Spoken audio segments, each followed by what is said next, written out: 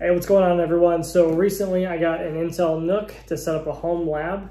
Um, it's been awesome. The performance is great. I'm running ESXi on it. I've got a bunch of virtual machines running on there. Uh, this model in particular is just the i5 8th generation quad core processor. Um, I'll show it right here. So we got a couple of USB ports here. We got the headphone audio jack, power button. There's room for a micro SD card, we also have USB-C, two more USB ports, Ethernet, HDMI, and power.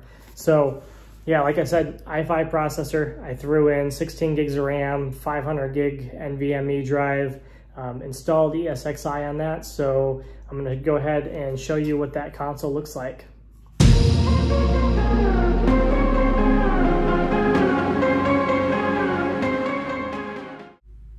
All right, so after you install VMware ESXi, it's going to give you an IP address. And what you'll do is you'll connect to that IP address in your browser like so. Go ahead and log in with your credentials.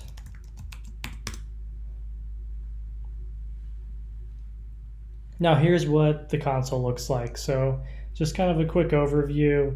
If we click on host here, we can see our server setup. We can see currently how much CPU is being utilized, how much memory, how much storage is being utilized.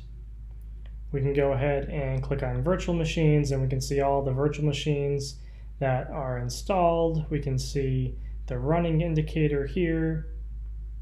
If we go down to storage, we can actually see the storage that our server has. And I have a 500 gig hard drive in here we can click on data store browser and we can actually browse that.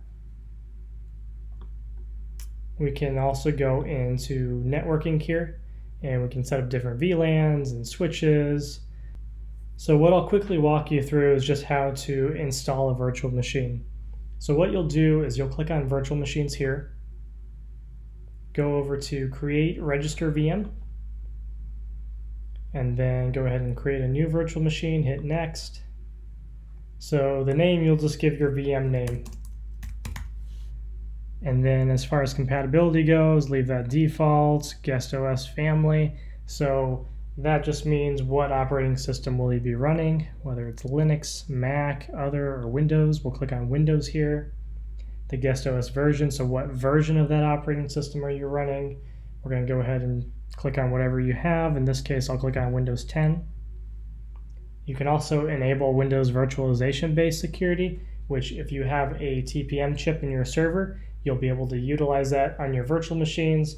That is a security feature that Windows 10 and like Windows Server 2016, 2019 use for enabling various security features. So if you want, you can go ahead and click on that. Otherwise, click Next. All right, so you can select your storage drive if you have multiple storage locations. I just have the one. I'm to go ahead and click on Next. Okay, so here is where you can allocate resources to your virtual machine. Now, if you're not doing anything crazy, you can probably get away with using one CPU core and like two gigs of two gigs of RAM whatever you want to do here. Now the one thing you'll want to do is go down to the DVD drive, click this drop down and click on data store ISO file. So I forgot to show you this before, but what you'll want to do is go in here and upload your ISO files. So you want to go into the storage section, go to this GUI and upload your ISO files here. This way, when you image a virtual machine, it'll be able to read the ISO file and boot from it. So since I told it that I was setting up a Windows 10 VM, I'll go ahead and click on that ISO. I'll click next or, or select here, and then you'll go ahead and click on next. All right, this just uh, gives you a brief overview of all the options you selected, verify that's all correct. If so, you'll click on finish.